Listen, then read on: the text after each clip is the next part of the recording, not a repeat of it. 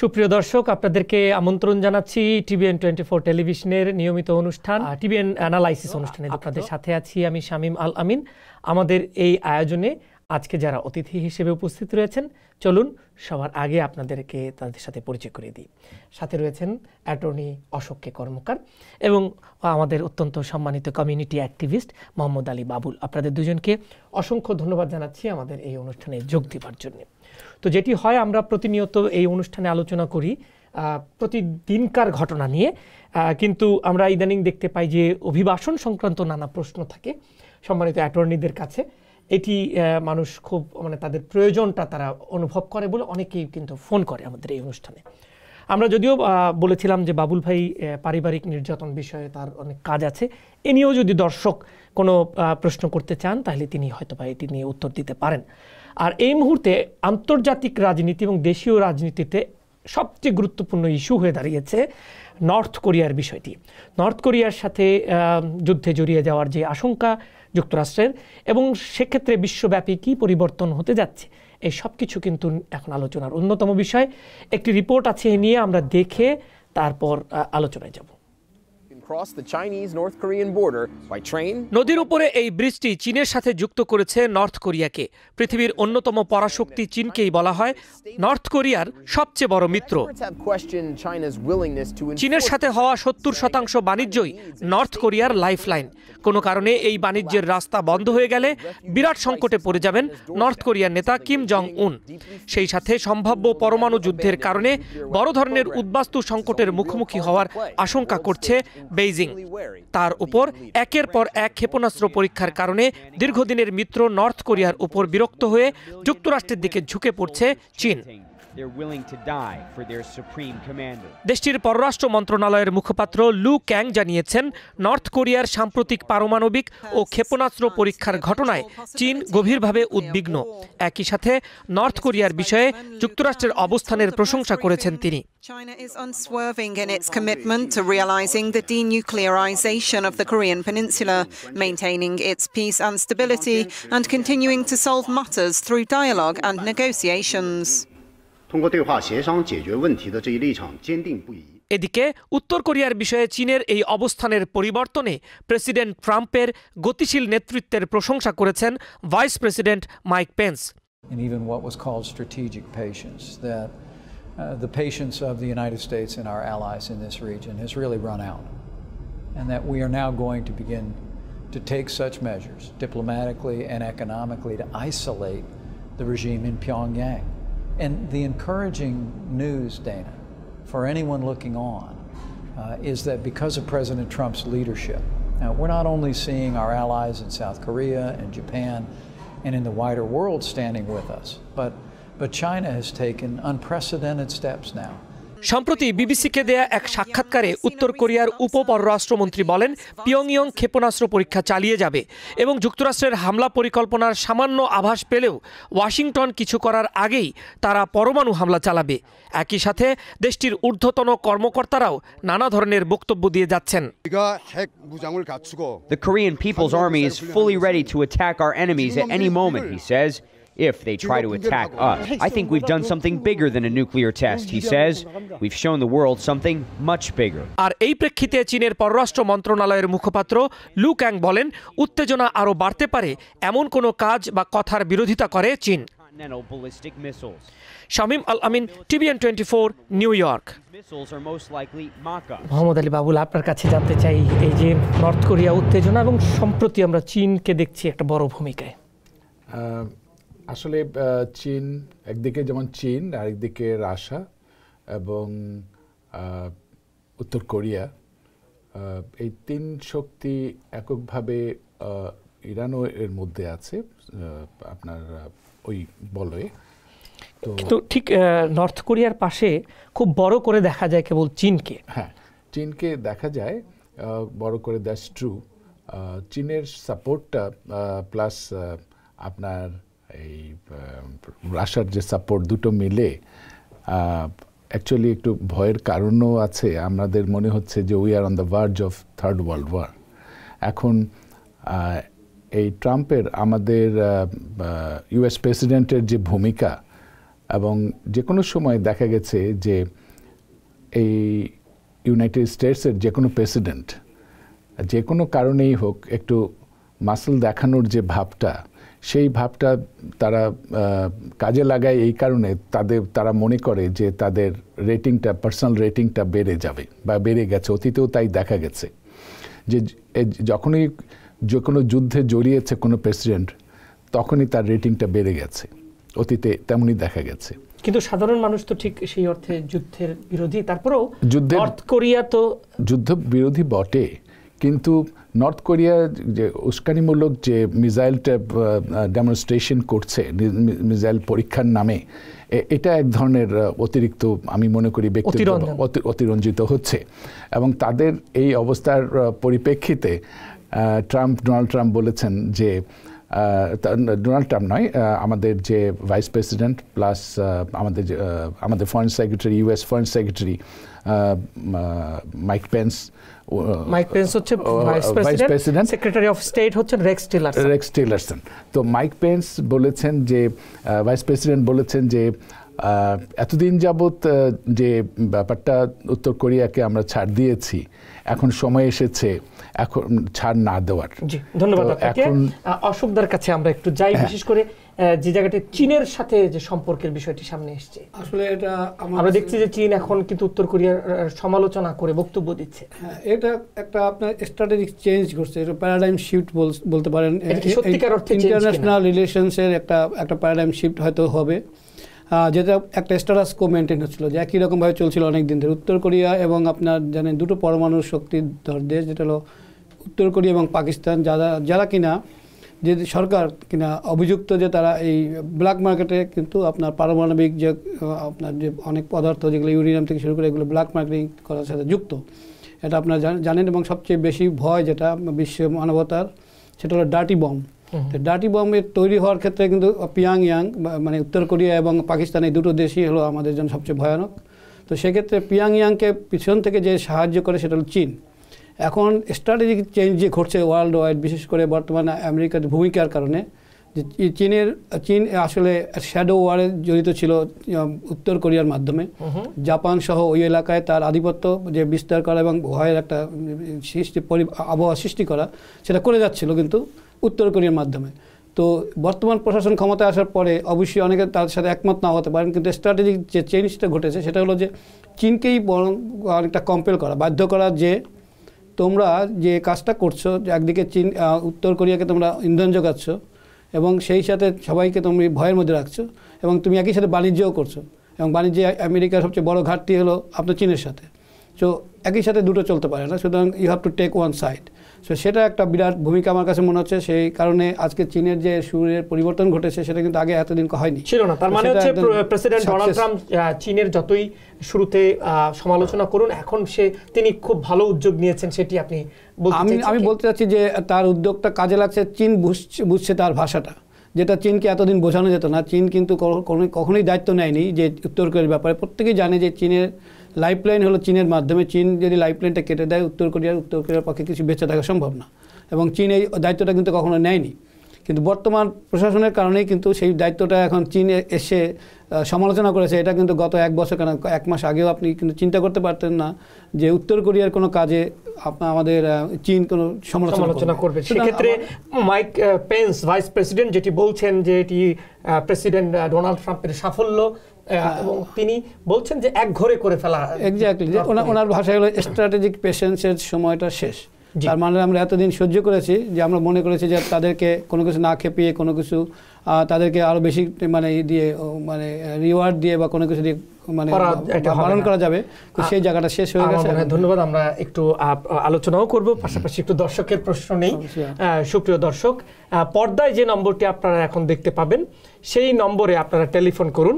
এবং আপনাদের যে কোনো উত্তর নেওয়ার জন্য, উত্তর দেওয়ার জন্য প্রশ্নের আমরা তৈরি আছেন, আমাদের অতিথিরা আছেন। আমরা যে প্রশ্ন যে নম্বরটি আপনারা স্ক্রিনে কিছুক্ষণের মধ্যে দেখতে পাবেন six four six three zero seven nine eight two eight এই নম্বরে আপনারা ফোন করতে পারেন। আপনার কাছে একটি প্রশ্ন এর মধ্যে ফেসবুকের মাধ্যমে এসছে। অ্যালান রাজ, তিনি বলছেন here is one question for you guys my dad তার ড্যাড আর কি। গ্রিন কার্ড আছে তার but his green card will be expired মানে এক্সপায়ার্ড হয়ে যাবে দুই সালের এবং he left from US two thousand twelve until now আচ্ছা তার মানে দুই হাজার বারো সালে সে চলে গেছে এবং তিনি এখনও ফিরেননি তার মানে অনেকদিন তিনি নাই যুক্তরাষ্ট্রে। ওকে আপনার প্রশ্নটা কি? আমি আসলে তো সেটাই মানে আমার মনে হয় যে কীভাবে তিনি ইউএসএ আসতে পারেন এরকম। ওকে প্রথমত উনি এতদিন যদি দেশের বাইরে থাকেন আসলে স্থায়ী বাসিন্দা মানে পার্মানেন্ট রেসিডেন্ট মানে হলে স্থায়ীভাবে আপনি- ভাবে আপনি এখানে থাকবেন মাঝে মাঝে দেশের বাইরে যেতে পারেন। কিন্তু যদি দেশের বাইরেই আপনি স্থায়ীভাবে থাকেন এ দেশের মাঝে মাঝে আসেন তাহলে ঠিক উল্টোটা হয়ে গেল। তো সেক্ষেত্রে আপনি আসার সময় এটা আসলে স্ট্র্যাটেজিকলি বলা এটা তো অনেক বছর হয়ে গেছে। আদৌ আসতে পারবে? অসম্ভব কিছু না যদি আসলে কোনো কম্পেলিং সিচুয়েশন কম্পেলিং সিচুয়েশন মানে হলো যে মনে করেন বাংলাদেশে চলে গেলে গেছেন উনি বা দেশের বাইরে আসেন সেখানে অসুস্থ হয়ে পড়েছেন সো আসতে পারছেন না। সেরকম যদি কম্পেলিং সিচুয়েশন হয় তাহলে উই ক্যান জি আমাদের কি কোনো দর্শক যুক্ত হয়েছেন? না তা আমার মনে যুক্ত হতে হতে বাবুল ভাই আপনার কাছে বলছেন যে ইউএস এবং নর্থ কোরিয়ার যদি যুদ্ধে জড়িয়ে যায় এটি আশঙ্কার কথা বলছেন দর্শক। শক্তির ভারসাম্য আপনার কাছে কি বলে দর্শকের প্রশ্ন? আহ, একটা যেটা আশঙ্কা করা হচ্ছে পলিটিক্যাল অ্যানালিস্ট যারা তারা চিন্তা করছে যদি God forbid it I hope it never happens যদি সত্যি হয় তাহলে পারমাণবিক বোমার আনফর্চুনেটলি ব্যবহার হবে এবং হওয়ার কারণে অনেক ক্যাজুয়ালিটি হবে জাপান চীন ওই এলাকায় ভীষণভাবে ক্ষতিগ্রস্ত হবে এবং তারাও ছেড়ে দিবে না বলে মনে হয় না। তারাও এখানে আমাদেরকে অ্যাটাক করতে পারে করলে আমাদেরকেও যথেষ্ট ক্ষয়ক্ষতির সম্মুখীন কিন্তু হতে হবে। যুক্তরাষ্ট্রের সেই ক্ষমতা আছে যে আকাশ থাকতেই সেই প্রযুক্তিকে ধ্বংস করে দেয়ার কিংবা আপনার হ্যাক করে সেইটাকে না এটা বলা হয় আছে। But actually political analyst military analyst যারা তারা বলেছেন যে পরিস্থিতি আমেরিকার কন্ট্রোলের বাইরে চলে যেতে পারে। জাস্ট ইউ ক্যান ট্রাই হ্যাঁ। Nuclear things you can try আমরা দেখি কেমন হয় হ্যাঁ, কি হয় এটা- you can try it like once for all মুদ্রা কথা যেটা হচ্ছে যে গড ফরবিড যদি কোনো যুদ্ধ হয় তাহলে সেটা ইভেন কি আমেরিকার কন্ট্রোলের বাইরে চলে যেতে পারে। কিন্তু তারপরেও আমেরিকা একটা যথেষ্ট শক্তিশালী দেশ, পৃথিবীর সবচেয়ে শক্তিশালী দেশ বলা হয়। এবং একই সাথে নিশ্চয়ই পরিস্থিতি বিবেচনায় এই বড় শক্তিধর রাষ্ট্রটি সিদ্ধান্ত নেবে সেটি আমরা হয়তো দেখব। যে কথাটি আমি বললাম এটা কিন্তু মিলিটারি অ্যানালিস্টরা বলেছে ইউএস মিলিটারি অ্যানালিস্টরা যে পরিস্থিতি এদের বাইরে চলে যেতে পারে কন্ট্রোলের বাইরে। কোনো যুদ্ধ কন্ট্রোলে রাখা যায় না যুদ্ধ মানে যুদ্ধ। আমরা যাই তারপরও মানে পরিস্থিতির সামনে কি ঘটে সেটি আমরা দেখব। আর এ পর্যায়ে দুজন দর্শক আমাদের সাথে আছেন আমরা একটু প্রশ্ন নিয়ে নিই। কে আছেন প্রিয় দর্শক? নাম পরিচয় দিয়ে প্রশ্নটি করুন। হ্যালো আসসালামু আলাইকুম শামীম ভাই। আমি ব্রুকলিন থেকে বলছি। জি ওয়ালাইকুম সালাম বলুন। আমার কোয়েশ্চেনটা হচ্ছে আমার আম্মু রিলেটেড সো আমার আম্মু সিটিজেন আম্মু জব করে না রাইট সো আব্বুর সাথে ট্যাক্স ফাইল করে। আম্মু কি আম্মুর ভাই বোনদের জন্য মানে আমার খালা কিংবা মামার জন্য যারা বাংলাদেশে আছে তাদের জন্য কি অ্যাপ্লাই করতে পারবে? হ্যাঁ উনি পারবেন কোনো সমস্যা নেই। কতদিনের মধ্যে পারবেন কীভাবে পারবেন? অ্যাপ্লাই করতে কোনো সমস্যা নেই আপনি করতে পারবেন তবে জয়েন্ট হয়তো স্পন্সর লাগবে। জি ধন্যবাদ আপনাকে। এরপর যিনি আছেন আপনি আপনার নাম পরিচয় দিয়ে প্রশ্নটি করবেন প্রিয় দর্শক কে আছেন? জি আসসালামু আলাইকুম শামীম ভাই। আমি অস্ট্রেলিয়া থেকে বলছি। জি ওয়ালাইকুম সালাম বলুন। ইবা রহমান আমার একটা প্রশ্ন যে আমার দুই বোনের জন্য অ্যাপ্লাই করেছি কিন্তু সবকিছু শেষ কিন্তু পাঁচ মাস হয়ে গেল এখনও অফিসার জন্য ডাকে নাই। আমি কি করতে পারি? কি করতে পারি? আপনি অ্যাপ্লাই কবে কবে করেছেন? প্রায় তেরো বছর পরে সবকিছু মানে ডাকছে সব কিছু দিয়ে দিছি সাপোর্ট তারপরে বিচার ফিস মানে তেরো বছর পর মানে কত কবে এক্স্যাক্টলি কবে করেছেন আপনাকে? দুই হাজার ফোরে ফোর ও, তাহলে আপনার সময়টা এখনও পার হয়নি এখনও যে কোনো সময় এসে যাবে। জাস্ট একটু ওয়েট করুন। আচ্ছা ধন্যবাদ আপনাকে।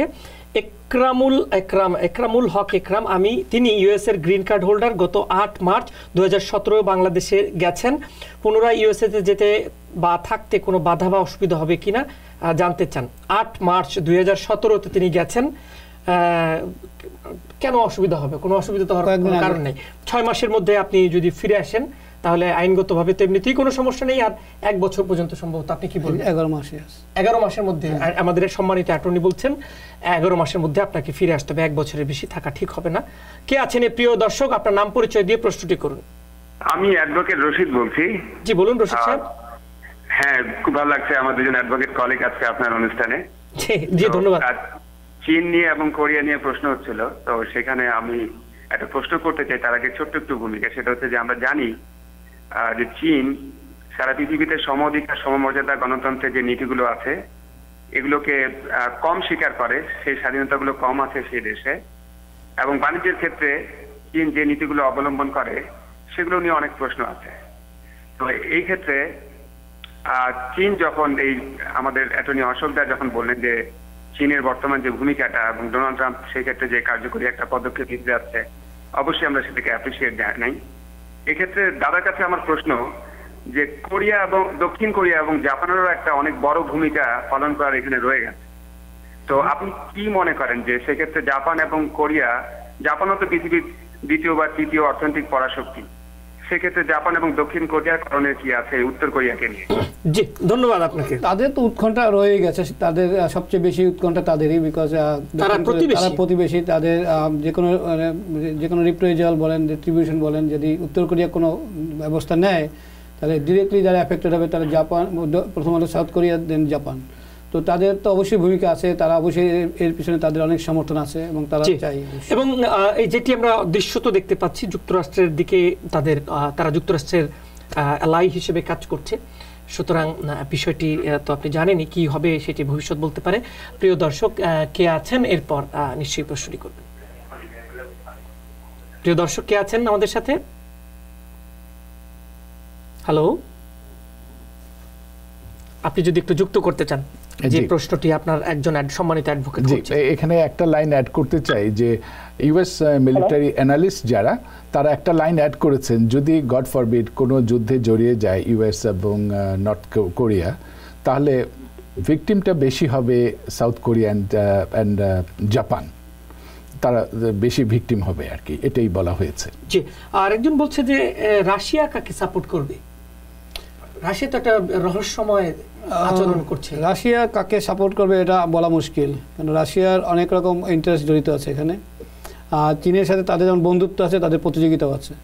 কাজে রাশিয়া হয়তো সেই সুযোগগুলো কীভাবে কাজে লাগাবে কোন দিকে ঝুঁকে সে সুবিধা করবে এখনও বলা যাচ্ছে না। বিশেষ করে বর্তমান প্রশাসনের সাথে রাশিয়ার একটা সম্পর্ক ভালো সম্পর্ক আছে সবাই জানে। তো সে বর্তমান প্রশাসন মানে ইউএসএর ইউএস প্রশাসনের সাথে একটা সম্পর্ক আছে একটা আন্ডারস্ট্যান্ডিং আছে আমরা অনেকে ধারণা করছি। যে অ্যাটলিস্ট সে অর্থে সামগ্রিক যে যুদ্ধ সেখানে আমেরিকার বিরুদ্ধে যে আপনার রাশিয়া চলে যাবে আমার কাছে সেটা মনে হচ্ছে না। বিশেষ করে আপনার সিরিয়ায় যে আমেরিকা যে আক্রমণ করল তাতে কিন্তু তাদের সাথে আগে থেকে কথা বলেই করা হয়েছে। যদিও আমরা বাইরে এটি নিয়ে উত্তপ্ত হ্যাঁ, বাক্য হ্যাঁ, বিনিময় দেখেছি হ্যাঁ। আমরা এই জায়গাটিতে থামতে হবে আমাদের অনেক দর্শকের জমে গেছে প্রশ্ন আমাদের নিতে হবে। প্রিয় দর্শক আহ, কে আছেন এরপর নাম পরিচয় দিয়ে প্রশ্নটি করবেন? হ্যালো জি আমরা শুনছি বলুন।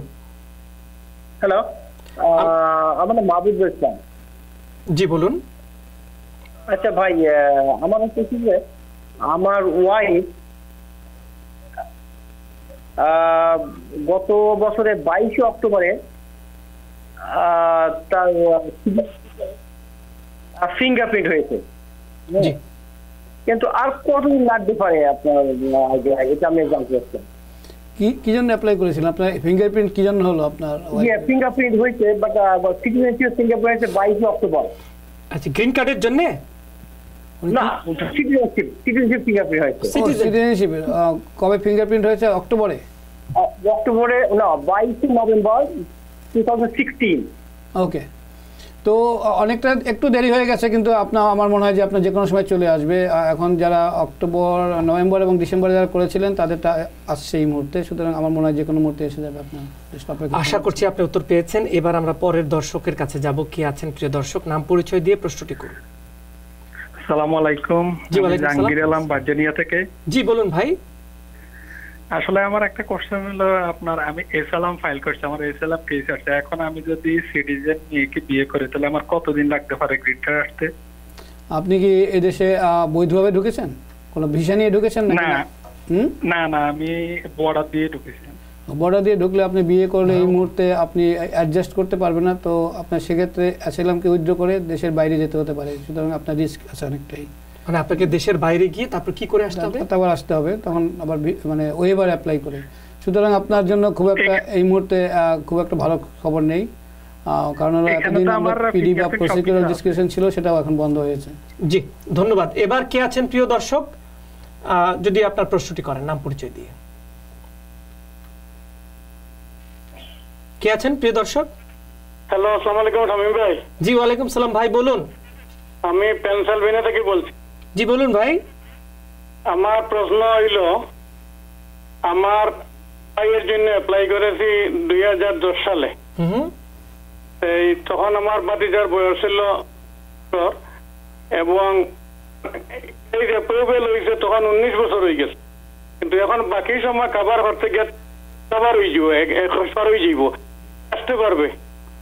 দু হাজার দু হাজার দশে অ্যাপ্লাই করেছেন আপনি না? দু হাজার দশে তখন অ্যাপ্রুভেল হয় তখন তার বয়স উনিশ বছর। ওকে। তো এই মুহূর্তে জবাব দেওয়াটা সম্ভব হবে না কারণ হলো যখন আপনার ভিসা কারেন্ট হবে তখনকার যে ম্যাথটা করতে হবে যেটা আমরা বলি CSPA child status protection act তাতে হয়তো কভার করতেও পারে কিন্তু আমি এই মুহূর্তে বলতে পারব না যে আসলে কভার করবে কিনা কারণ যখন আপনার ভিসা কারেন্ট হবে তখন আপনি যদি এই প্রশ্নটা করেন দেন আই ক্যান অ্যান্সার ধন্যবাদ আপনাকে। এবার কে আছেন? জি আসসালামু আলাইকুম। জি ওয়ালাইকুম সালাম বলুন। জি। হ্যালো আসসালামু আলাইকুম জি আমরা শুনছি আপনি বলুন। ওকে। যে আমি দুই হাজার দুইতে আমেরিকা আসছি। আমার একটা ছেলে আমার এক ছেলে এবার টুয়েলভ গ্রেডে পড়ে।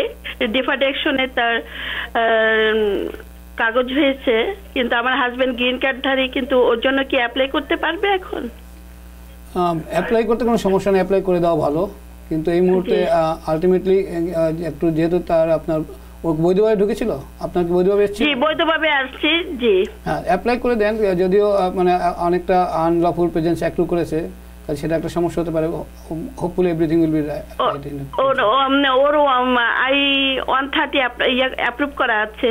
ওকে এখনও তো ই হয়নি। কারেন্ট হয়নি নিশ্চয়ই।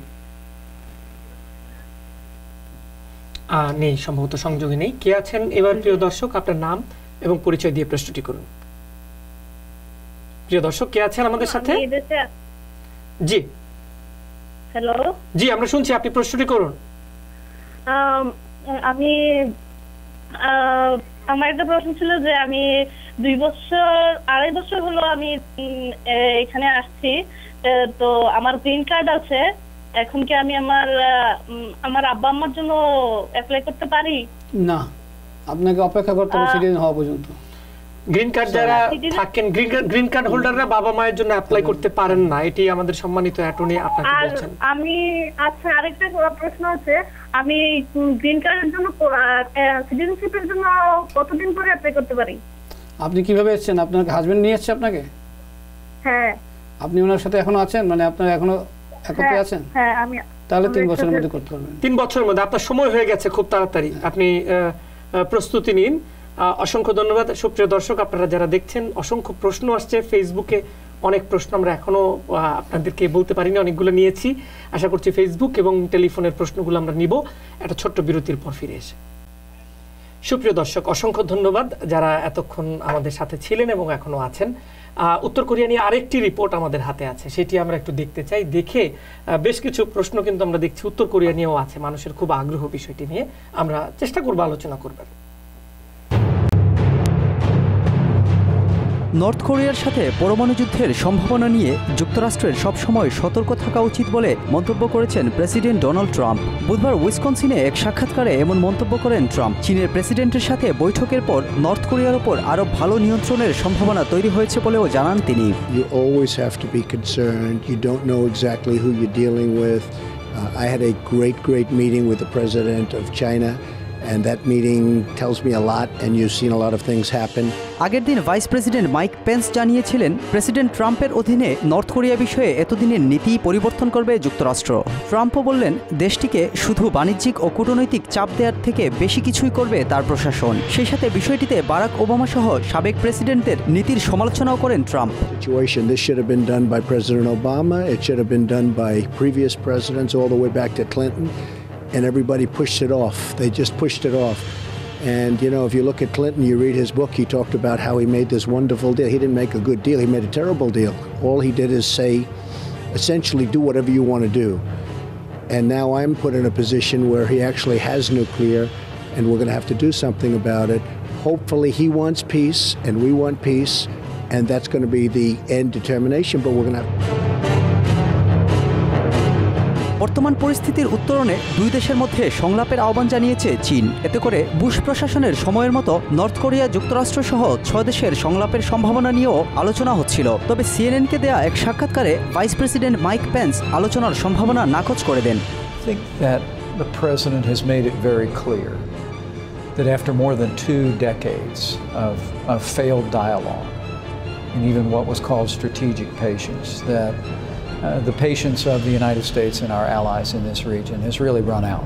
এদিকে গত সপ্তাহে নর্থ কোরিয়ার ক্ষেপণাস্ত্র পরীক্ষা ব্যর্থ হওয়ার পিছনে যুক্তরাষ্ট্রের ভূমিকা ছিল এমনটা আলোচনা হচ্ছে। সাক্ষাৎকারে বিষয়টি নিয়ে কৌশলী উত্তর দেন এশিয়া সফররত মাইক পেন্স। যুক্তরাষ্ট্রের ভূমিকার কথা স্বীকার না করলেও সরাসরি অস্বীকারও করেননি তিনি। Electronic uh, we certainly uh, recognize uh, that that was a failed missile test. It failed almost immediately, just like another recent test. প্রযুক্তি বিশেষজ্ঞদের বরাত দিয়ে সিএনএন এর এক খবরে বলা হয়, নর্থ কোরিয়ার ক্ষেপণাস্ত্র প্রকল্প ভণ্ডুল করার জন্য হ্যাকিং প্রযুক্তি ব্যবহার করে আসছে যুক্তরাষ্ট্রের সেনাবাহিনী। ভাইরাস ঢুকেও প্রকল্পটিকে প্রাযুক্তিকভাবে ত্রুটিপূর্ণ করা হতে পারে। দু হাজার এগারো সালে স্টাক্সনেট অপারেশন নামে পরিচিত সাইবার আক্রমণের মাধ্যমে ইরানের পরমাণু প্রকল্পেও ভাইরাস অনুপ্রবেশ ঘটায় যুক্তরাষ্ট্র। নর্থ কোরিয়ার ক্ষেত্রেও এমনটি করা হয়েছে, এমন ধারণা করা হচ্ছে। Galib Ashraf, TVN twenty four news desk.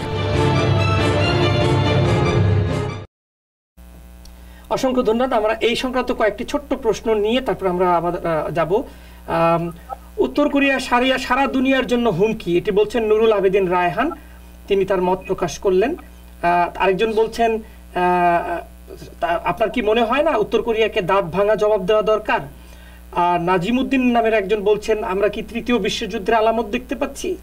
Shah আলো, কাজী শাহ আলম বলছেন, তার মনে হয় যুদ্ধ হবেই না। হ্যাঁ এটা মনে হতে পারে কারণ ব্যাপারটা এত সেন্সিটিভ এটা আসলে আনপ্রেডিক্টেবল সিচুয়েশনে আছে। লেস হোপ যে হবে না। তারপরেও আমাদের মনে হয় we have to take all the precautions যাতে ধন্যবাদ। আরেকজন দর্শক আছেন রাসেল হোসেন। তিনি বলছেন আসলে যুদ্ধটা কি নিয়ে? আপনাকে ধন্যবাদ। নিয়মিত টেলিভিশন দেখুন সংবাদপত্র পড়ুন চোখ কান খোলা রাখুন। এবং আমাদের আলোচনা শুনতে থাকুন। অসংখ্য ধন্যবাদ। কে আছেন? এবার একটু আমাদের সাথে আমরা একটু প্রশ্নটা নিতে চাই। কে আছেন? নাম পরিচয় দিয়ে প্রশ্নটি করুন। হ্যালো আসসালামু আলাইকুম জি ওয়ালাইকুম সালাম। আমি নিউ জার্সি থেকে ফোন করছি। আমি একটু জানতে যে আমার ভাইয়ের জন্য টু থাউজেন্ড আটে অ্যাপ্লাই করেছিলাম। এখন ওরা জবাব কিছু দেয় নাই আমাকে। জবাব কিছু দেয়নি মানে কি? কোনো আপনার অ্যাপ্রুভাল কিছু হয়নি? অ্যাপ্রুভাল হয়েছে। আমি অ্যাপ্রুভাল লেটার অনেক আগে পাইছি বাট এখনও মানে ডাকে টাকে নাই কিছু না এখনও অনেক অনেকটাই বাকি আছে। মাত্র দু হাজার আট তো আপনার আরও বেশ কয়েক বছর অপেক্ষা করতে হবে। অনেকটাই পিছনে আছে এটা। ঘাবড়াবার কিছু নেই। জি ধন্যবাদ। এবার আমাদের সাথে কে আছেন? প্রিয় দর্শক নাম পরিচয় দিয়ে প্রশ্নটি করুন। জি শাহিম ভাই আসসালামু জি ওয়ালাইকুম আসসালাম ব্রঙ্ক থেকে বলছিলাম আমি নাজমুল। ধন্যবাদ ভাই বলুন। আমি আমাদের হচ্ছে আমরা চারজনের ফ্যামিলি আগামী তিরিশ তারিখে আমাদের পাঁচ বছর পূর্ণ হবে। তো তো পাঁচ বছর পূর্ণ হবে। তো আমি এর মধ্যে আগামী জুলাইতে আমি একটু দেশে যেতেও চাচ্ছি পুরো পরিবার নিয়ে। তো সেক্ষেত্রে সেক্ষেত্রে আমরা কি অ্যাপ্লাই করে যেতে পারব নাকি এসে অ্যাপ্লাই করলে ভালো হবে? আপনি অ্যাপ্লাই করে গেলে কোনো সমস্যা নেই কিন্তু আপনাকে ফিঙ্গারপ্রিন্টটা চলে আসবে হয়তো কিছুদিনের মধ্যে কয়েক সপ্তাহের মধ্যে। কাজে ফিঙ্গারপ্রিন্ট দিয়ে আপনি চলে যেতে গেলে ভালো হয়। ফিঙ্গারপ্রিন্ট দিয়ে গেলে ভালো হয় বলছেন আমাদের সম্মানিত অ্যাটর্নি। তারপর একটু কথা বলুন কারোর সাথে ব্যক্তিগতভাবে। কে আছেন প্রিয় দর্শক? নাম পরিচয় দিয়ে প্রশ্ন করুন। আসসালামু আলাইকুম। জি ওয়ালাইকুম সালাম। আমার দুইটা প্রশ্ন। আমি জামাইকা থেকে মেজবাউদ্দিন বলছি। জি বলুন। হ্যাঁ। আচ্ছা আমার একটা প্রশ্ন হলো আমি আছি দুই হাজার মানে তেরো সালে। আচ্ছা। হ্যাঁ এখন আমার প্রশ্ন আমি আসার পরে কোনো জব করি নাই। আমি আমার একটু অসুস্থ। হ্যাঁ অসুস্থ মানে আমার হার্টের প্রবলেম আছে তারপরে ডিএচএন আছে তারপর আপনার অনেকগুলো আছে। তো আমার বয়স হলো আপনার বয়সটা বলে দিই seventy one running seventy one জি। তো এখন আমার নামে কোনো ট্যাক্স আমি আমার ছেলের এখানে আছি। ছেলের বাসায় আছি। ছেলে এনইউপিতে কাজ করে। তো এখন আমার যদি আপনার ইয়ে পাসপোর্টের জন্য এখানে ইন্টারভিউতে যায় যদি আমাকে প্রশ্ন করে যে আপনার কোনো ট্যাক্স ফাইল নাই বা এই ধরনের কোনো সমস্যা আমার মানে। হবে কিনা? আপনার ট্যাক্স ফাইল ট্যাক্স ফাইল আপনার ছেলে হয়তো আপনাকে ডিপেন্ডেন্ট হিসেবে করেছে তাই তো? তাতেই হয়ে যাবে অসুবিধা নেই। জি ধন্যবাদ। আপনার ছেলে ডিপেন্ডেন্ট হিসেবে যদি করে থাকে যেটি আমাদের সম্মানিত অ্যাটর্নি বলছিলেন তাতেই হবে কারণ আপনি তো আয় করেন না। সেক্ষেত্রে সেটি দেখাতে হবে না সম্মানিত অ্যাটর্নি এটি বলছেন। আশা করছি আপনি উত্তরটি পেয়েছেন। কে আছেন প্রিয় দর্শকের পর? হ্যালো আসসালামু জি বলুন। জি আমি কবির বলছি ব্রঞ্জ থেকে। জি ভাই বলুন ভাই। জি আমার কোশ্চেন হয়েছে আমি লাস্ট ইয়ার টু থাউজেন্ড সিক্সটিনে আমি জুনে আমার ওয়াইফে অ্যাপ্লাই করছি। জি। জি আমার হচ্ছে গ্রিন কার্ড তো আমার শুধু অ্যাপ্রুভাল একটা পাইছি আর কোনো পেপারস পাইনি এই মুহূর্তে আর কোনো একটু পরে আপনার একটু অপেক্ষা করতে হবে আপনার এটা এখনও হিসাব বোধহয় কারেন্ট হয়নি। যা একটু অপেক্ষা করুন কেন্দ্রে। জি ধন্যবাদ। একজন এরকম প্রশ্ন আমরা পাই প্রায়ই পাই। না, একজন প্রশ্ন করেছেন তিনি জানতে চান আমেরিকা যাবার সহজ পথ কি? পৃথিবীর কোনো এক প্রান্ত থেকে নিশ্চয়ই করেছেন। এই ফেসবুকেই অন্তত তিনজন আছেন যারা আমেরিকায় আসতে চান বলে প্রশ্ন করেছেন। আমেরিকা আসতে চান না এমন কে আছে কতজন আছে? জি ধন্যবাদ আপনাকে। কে আছেন? এবার প্রিয় দর্শক আপনার নাম পরিচয় দিয়ে প্রশ্নটি করুন। জি সালাম আলাইকুম। আমি ক্যালিফোর্নিয়া থেকে আলমগীর বলছি। জি বলুন ভাই। আমার? বলুন। জি আমার এক ফ্রেন্ড বর্ডার দিয়ে আসতে ওনার কেস এপ্রুভ হয়েছে। আজ পর্যন্ত দুই বছর চলছে। কিন্তু কতদিন লাগতে পারে তার গ্রিন কার্ড হাতে পাইতে এক আর আমার অ্যাসাইলেম নিউ ইয়র্কে আমি বিভিন্ন কাজের সুবাদে বিভিন্ন স্টেটে আমি থাকতে হয় বছর বছরের মতো। এজন্য কি নিউ ইয়র্কে আমার কেসের কি সমস্যা হবে এটা? নাকি নিউ ইয়র্কে থাকলে হবে? মাঝে মাঝে কেস আমি ফলো আপ করি। জি ধন্যবাদ। আপনি প্রথমত হলো যে যেখানে আপনি থাকবেন সেখানেই আসলে আপনার কেস চলে যাওয়ার কথা। কিন্তু আপনি হয়তো যদি না জানান ওরা হয়তো জানতে পারবেন আপনি কোথায় আছেন। সেজন্য হয়তো আপনাকে আপনার কেসটা কোথাও চেঞ্জ হয়ে যাচ্ছে না ট্রান্সফার হয়ে যাচ্ছে না। আপনি যদি চান যে ওখানে আপনি যেখানে থাকেন সেটা জানিয়ে দিলে ওদেরকে আপনাকে যেটা বলি আমরা চেঞ্জ অফ অ্যাড্রেস দশ দিনের মধ্যে আপনাকে জানিয়ে দেওয়া উচিত। যদি জানিয়ে দেন তাহলে আপনার কেসটা ওখানেই চলে যাবে। জি ধন্যবাদ। এবার কে আছেন প্রিয় দর্শক? আসসালামু আলাইকুম। আমি সোহেল বলছিলাম মেরিল্যান্ড থেকে। মেরিল্যান্ড থেকে।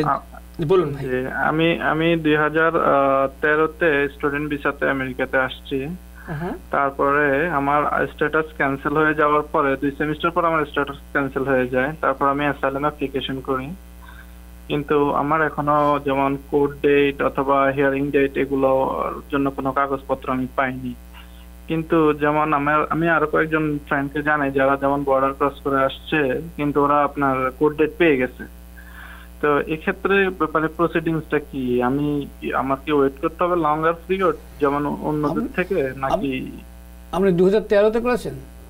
জি জি দুই হাজার তেরোতে আসছি। দু হাজার তেরো এসছেন কবে? অ্যাপ্লিকেশন করেছেন কবে? আমি বাংলাদেশ থেকে অ্যাপ্লিকেশন করেছি আপনার জানুয়ারিতে আর আমি ভিসা পাই অগাস্টে। নো আপনি অ্যাসাইলামের অ্যাপ্লিকেশন কবে করেছেন? ও এয়ারসেলেম অ্যাপ্লিকেশন করেছি দুই হাজার চোদ্দোর ফেব্রুয়ারিতে। আপনি হয়তো যে কোনো সময় আপনি পেয়ে যাবেন আপনার ইন্টারভিউ ডেট ধন্যবাদ আপনাকে। এবার কে আছেন? প্রিয় দর্শক নাম পরিচয় দিয়ে প্রশ্নটি করুন। হ্যালো আসসালামু আলাইকুম। জি ওয়ালাইকুম আসসালাম ভাই। আহ, আমার নাম মহসিন। জি মহসিন সাহেব বলুন। আমি গ্রিন কার্ড হোল্ডার দুই হাজার থার্টিনে আমার ছেলের বয়স ছিল বারো বছর। তখন আমি তার জন্য one thirty I one thirty approve করে রাখছি।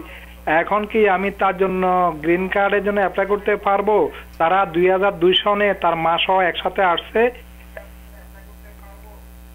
তা- অলরেডি চলে এসেছেন এখানে? তো ওনার তো গ্রিন কার্ড অলরেডি আছেই। আপনি কি গ্রিন কার্ডের কথা বলছেন নাকি আপনার সিটিজেনশিপের কথা বলছেন? না না না আমি বলতেছি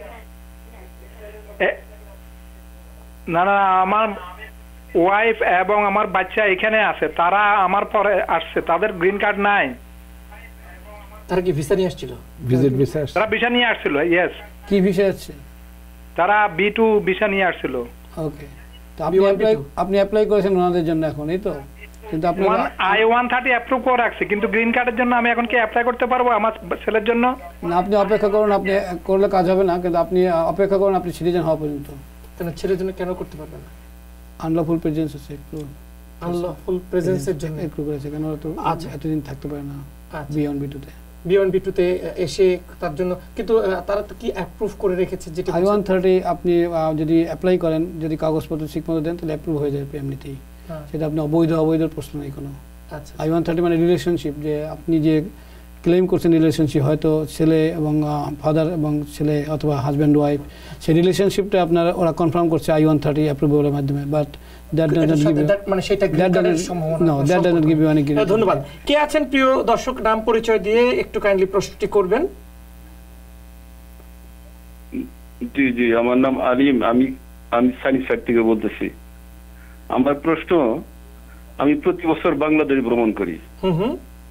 বাংলাদেশের জনসংখ্যা যে হারে বাড়তেছে সেখানে বসবাস করা একটা কঠিন হয়ে দাঁড়াইতেছে এখন। এই বিষয়ে আপনাদের কি কোনো কিছু বলার আছে? যারা সংশ্লিষ্ট বিষয়ে যারা এই দায়িত্ব- ধন্যবাদ। আপনি তো বলে দিয়েছেন। আপনি আপনি তো বলে দিয়েছেন। আপনি তো আমাদের সম্মানিত দর্শক উত্তর দিয়েছেন। আপনি বাংলাদেশের বিষয় নিয়ে আলোচনা মানে যেহেতু সময়ও কম এটা বাংলাদেশের মানে নিশ্চয়ই আমরা প্রবাসী হিসেবে এটা নিয়ে আমাদের অনেক চিন্তা ভাবনা আছে এবং এটাতে আমরা চিন্তা করি নাকি আপনি কি বলেন? বাবুল ভাই একটু যদি দর্শকে একটু ছোট করে বলেন। হ্যাঁ না আসলে এটা চিন্তার ব্যাপার। তো আমাদের বাংলাদেশের জনসংখ্যা মানে পৃথিবীর সবচেয়ে বেশি ঘনবসতিপূর্ণ দেশ এই বাংলাদেশ। তো অতএব অবশ্য গত কয়েক বছরে আমাদের আহ, আহ, লোক সংখ্যা বৃদ্ধির সূচক একটু কমতির দিকে। তারপরেও আমাদের দক্ষিণে যে বিশাল জায়গা আমরা আবিষ্কার করেছি তা আশা করি কিছুটা কমবে আর কি। লেটস বি হোপফুল জি ধন্যবাদ। নাজমুল হুদা এবং নিজামুদ্দিন ভাই আপনারা যারা দেখছেন একটু মানে মনে কষ্ট নিয়েই আবার লিখেছেন হয়তোবা যে ইউএসএ আসতে চাওয়াটা কি কোনো অন্যায়? নিশ্চয়ই অন্যায় নয়। আপনারা আপনাদের আহ, নানা পথের মাধ্যমেই তো এখানে আসেন। নাকি আপনি একটু যদি বলেন? তা একটু যদি সুযোগ থাকে তারা কেন ন্যায় অন্যায়ের কোনো প্রশ্ন না। প্রশ্নটা হলো যে আপনার আকাঙ্ক্ষা থাকতেই পারে আপনি একটা দেশে যাবেন আপনার এক এক ধরনের উদ্দেশ্য নিয়ে এবং এখানে আসার জন্য অনেকগুলো পথও আছে। যেমন আপনি ছাত্র হিসেবে আসতে পারেন আপনি যদি কাউকে এখানে বিয়ে করেন তাহলে সেই হিসেবে আসতে পারেন অথবা আপনি ইনভেস্ট করে এখানে আসতে পারেন। সুতরাং আসার জন্য অনেক পথে খোলা আছে। অনেক পথে আছেন। আর যারা ইউর সিটিজেন তারা কি করতে পারে? তারা কি এখানে আসলে থাকতে পারে? সবাই আসতে পারে কিন্তু থাকার জন্য আপনাকে যে পদ্ধতি আছে সেগুলি সেই আপনাকে- পদ্ধতিগুলো। ভাই আপনারা নিশ্চয়ই উত্তরটি পেয়েছেন। নিশ্চয়ই আসার আকাঙ্ক্ষা আপনাদের থাকবে ইচ্ছাও থাকবে। নানা রকমের পথ আছে একটু যদি চোখ কান খোলা রেখে এবং যথাযথ আইনি প্রক্রিয়া অনুসরণ করে চেষ্টা করে দেখতে পারেন। এটি তো নাকি? আশা করছি আপনার মনের কষ্ট কিছুটা দূর করতে পেরেছি আমরা।